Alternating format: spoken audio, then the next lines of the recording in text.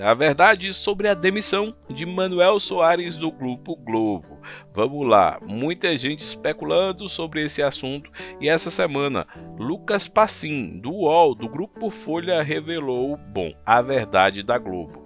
Oito funcionárias teriam denunciado o apresentador por assédio moral, por comportamento inadequado nos bastidores, não só da Globo como do GNT.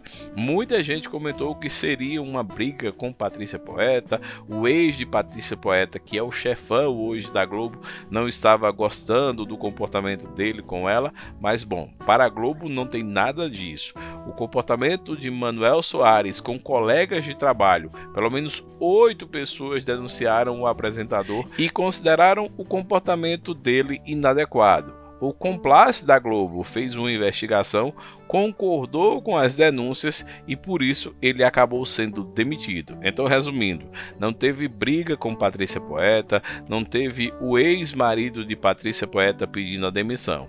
O comportamento dele não foi adequado e ele acabou sendo desligado da empresa. Você concorda ou discorda? Curte, comenta, compartilha. Bloco Social.